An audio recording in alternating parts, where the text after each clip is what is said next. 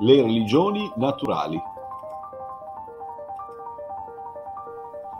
Nella religione naturale, l'uomo, nelle forze della natura, scorge la presenza della divinità, di qualcuno che è superiore a lui, attraverso la bellezza della natura, nel suo inarrestabile susseguirsi di stagioni, nella meraviglia di fronte al rinnovarsi della vita, ma anche nel suo spettacolo di potenza, al quale spesso l'uomo fatica a dare una spiegazione, vede il segno di un'esistenza misteriosa.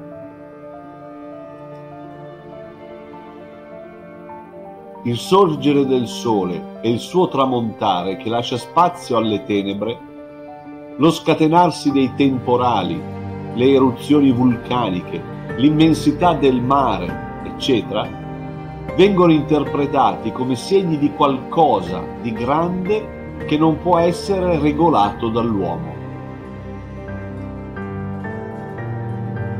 Sia così nella preistoria una prima esperienza religiosa che sarà poi approfondita nelle religioni antiche, essenzialmente legata alla natura e caratterizzata da due aspetti. Uno molto positivo, legato alla vita e allo stupore di fronte alla bellezza.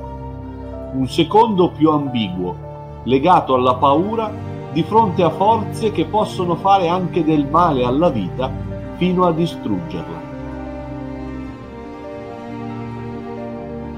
Possiamo così sintetizzare questa prima esperienza religiosa attraverso questo semplice schema. L'uomo, attraverso la natura, scorge la presenza della divinità.